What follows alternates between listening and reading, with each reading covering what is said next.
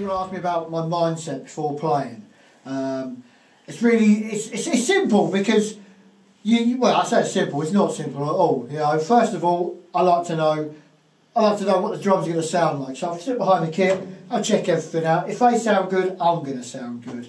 Uh, so I like to feel the vibe of the room as well because if you've uh, if you've played some you know really good bands, you've got to really you've got to step up, haven't you? You know you've got to make sure this is if we're headlining that people have come to see you that they get their money's worth. You know because there's nothing worse than someone coming to see you and you just you just shit. So. Uh, my mindset for that is really right. The performance, you know, I've got to be a powerhouse. I've got to be tight. I don't can't play too fast because it ruins the vibe for the band.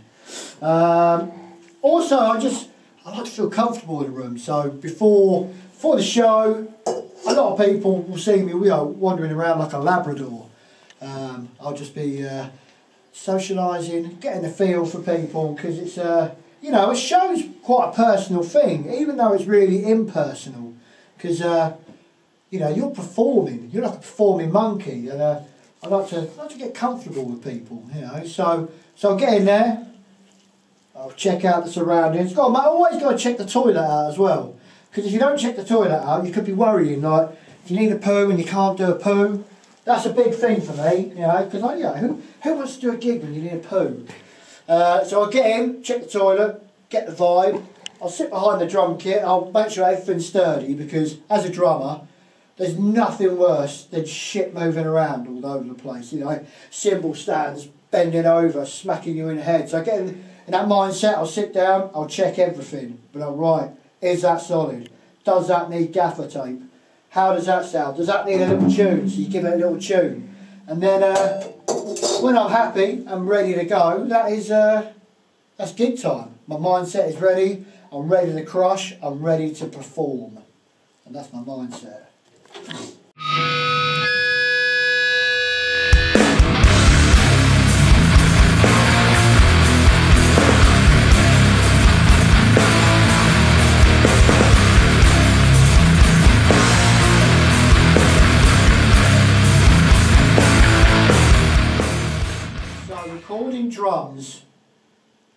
For me is really important because uh, that's your voice. You know, even though you'll get a producer. I mean, I've been lucky.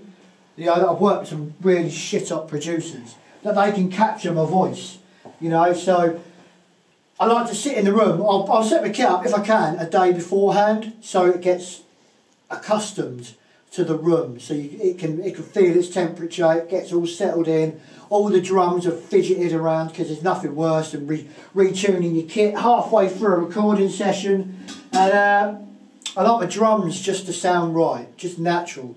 So a lot of people will notice in my recording I play the drums quite high like on the toms. Yeah, I'll tune them quite high not play them I'll tune them quite high so you can hear what I'm doing on the toms because I like to, yeah, I like to fanny around. I'm not just a, you know, people think I'm a meathead. Oh yeah, it's like an atom bomb. Whee, fucking hell! But it's not like that. There are a lot of subtleties I do on the drums that people don't notice when I'm recording. But if you, when you isolate a drum track, you'll notice it. You'll be like, oh shit, he's doing a little ghost roll there, or you know, or uh, oh shit, he's he's doing something else like a double or a triplet. So it's really important for me when I'm doing my drum takes, when I'm just hitting the drums, that A, the mics are out my fucking way. There's nothing worse than smashing a bloody mic because it will just really fuck you off. Because nine times out of ten, you'll do it and it'll be the last fucking bar of the last fucking 20 minute song and it'll be like, ah, fucking microphone, and you'll just catch it. So uh, I'll do that. I'll sit down, make sure that all the mics are out of my way. The drum kit's got to sound sweet. Because if it sounds bad here, it's going to sound bad in there. No matter how much the uh, the producer can fuck around and try and make it sound nice, if it sound, you know, you can't polish a turd. You know, simple as. Oh shit. Let me just get that back in there. But um, yeah, so snare drum, got to be right. It's got to be right for the song as well, as for the uh, recording even. Not the song, because it's you know it's going to sound good no matter what. But for the recording, it's got to be the right snare. You know, there's no point playing a really nice hip hop snare. So I've got my wife's watching this, I've only got two snares. You know, if she isn't watching this, I've got about eight or nine snares that I like to just, you know, get the right sound, the right je ne sais quoi, you know, just get it right because if that's the sound you're going to have, that's just going to be there forever, encapsulated forever. So I like to make sure that's right. Now record it, headphones in. I like to do a Lars Ulrich sweatband because you know you don't want your headphones moving. Um, when I'm recording, I Dave always. I like to hear the drums uh, from a drummer perspective. So a lot of albums will be left to right or right to left even. I like to hear the drums recorded right to left as I'm sat behind the kit. So the mix will be as I'm hearing it. So that's that's what I like to do. I like. I don't like to eat. That's a big thing for me, both live and recording. I don't like to eat before I play because I find it slows me down and it, it just stodges me up. So uh, I can't do that. So yeah, plenty of water though. We've got to have the water, the H2O, to help you uh, keep hydrated. And then when I finish recording, I like isolated tracks. So, you know, Dave will give me the isolated tracks. I'll be like, okay, right, so I can just hear how it's going to sound. And, you know, it's not really about mindset, really. It's more about methodology and how I like it to feel. You know, because it's a big thing recording. You can hear yourself. That's, like I say, encapsulated forever.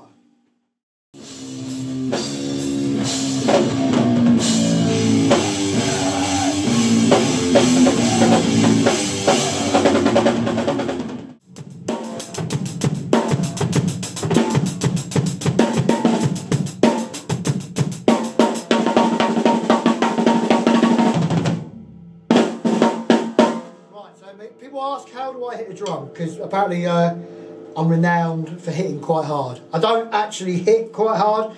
It's how I uh, it's how I catch a snare on the rim. So uh, this is a snare drum. It's one of my new ones, which is nice. So you get your stick. You hold it quite far back. A lot of people will play up near there to get the to get a ghost note. I, however, I hold it quite far back. You know, and I'll I'll play it like I'm karate chopping. It's all about the Daniel-san. So when I hit, I don't hit the centre of the drum. I choke it by going off centre and flat. So a lot of drummers will play like that. So centre of the drum, they think they're getting a better tone, which is fine. There's nothing wrong with it. So if you're hitting the centre of the drum, sounds quite nice. So what I do, I literally hit it off centre, so aiming at your your three o'clock. It'll, oh, it'll be pretty consistent as well. So, and I'll just, and it'll be a full bodied hit. So you'll be hitting the rim and your stick. So it's almost laying flat across. It absolutely fucking kills your sticks. So if you pull, don't bother doing it. Like that. Uh, and the, the trick is to get it consistent. If you're going, it doesn't sound right. So you need to get both hands always hitting off centre. Now if you're doing a snare roll, you kind of just need to bring it back so you snare just out of the way of each other. But yeah, that's how I do it. So it is off centre hit, full bodied smack. And that is. Now that also has to come into the other parts of the kit because if your hi-hat's quite low, so if you're down there, you're not gonna, you're going to be interrupted. So you've got to have a higher hi-hat. So, so when you're hitting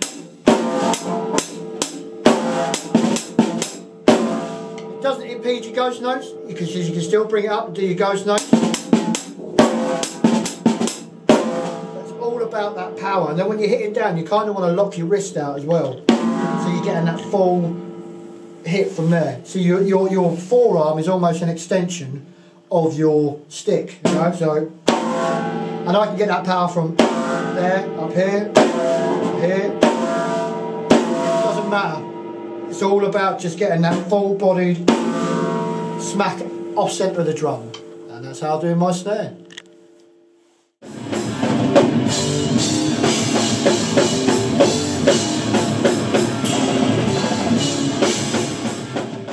I'm not one for, who sits behind a kit for four hours a day and practices because I've got a job, I've got kids. So uh, I, I try and keep my body in tune with the drums whenever I can. So if I'm at work, I have actually got a set of sticks that I'll just sit there and I'll do that. I'll sit there, I'll do some, you know, doubles or some paradiddles, or I'll just sit there, I'll just twist, you know, twizzle a stick, just so my hands are still used to sticks. I mean, when I play in other bands, I tend to use a double pedal. I don't in a horse because I don't feel it needs it. So I, will I'll sit there and I'll just be like that, and I'll just sit there and I'll tap, just so my body's still doing the muscle memory, still doing the routine, the uh, the uh, process. You know, I'm quite a process guy. I like to do things in a certain way. So I just sit there. I'll do that.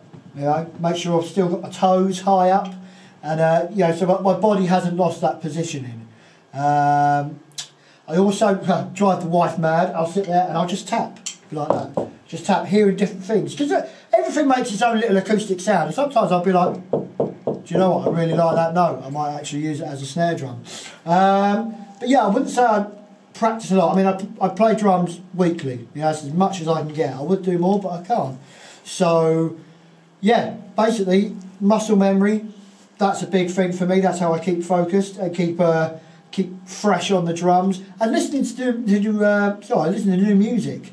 You know, it's really important for me as a drummer to bring ideas to the table for uh, a horse and for mongrel for any other project I'm in, engaged in. You know, I just I don't like always just sitting there going, yeah, that'll be a good beat. We'll just do that. I like to bring something to the table, so I'll be, you know, I'll practice that. I'll listen to something and I'll be like, wow, what's that they're doing? You know, I'll, I'll try and figure that out on my hands. And then when I do get behind the kit, I'll be there.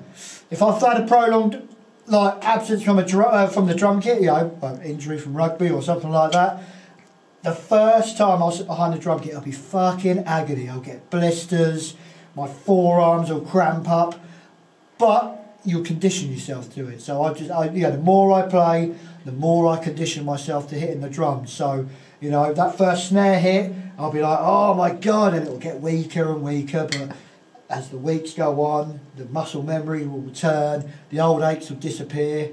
And uh, yeah, that's how I do it. I'll keep fresh, you know, muscle memory.